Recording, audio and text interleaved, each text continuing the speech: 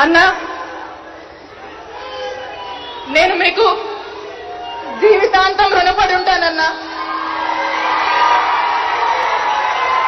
ఒక సాధారణ బీసీ మహిళనన్న నాకు ఈ చిలకలూరిపేట నియోజకవర్గంలో ఎమ్మెల్యేగా పోటీ చేసే అవకాశం ఇచ్చారు.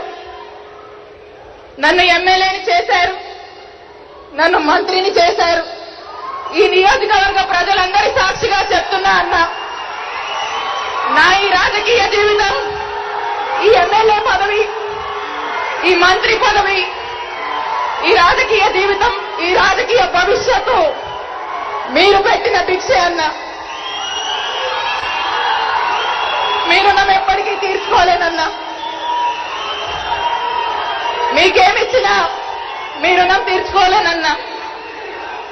మీ ఆశయాల సాధనే లక్ష్యంగా మీ ఆలోచన అమలే ధ్యేయంగా మీ ఆదర్శాలే ఆచరణగా మీ నాయకత్వమే నా అదృష్టంగా మీరు నాకు అప్పగించినటువంటి ఈ కార్య కర్తవ్యాన్ని నేను నిజాయితీగా నిర్వర్తిస్తూనే ఉంటానన్నా.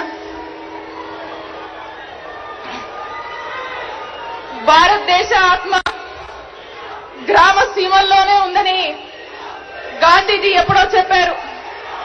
పల్లె సీమలే దేశానికి పట్టుకొమ్మలని మన ముఖ్యమంత్రి గారు బలంగా నమ్మారు. అందుకే ఒక చక్కటి వాలంటరీ వ్యవస్థను తీసుకొచ్చారు. ఈ వాలంటరీ వ్యవస్థ గ్రామాల్లో ప్రతి ఒక్కరికి కూడా ఆత్మ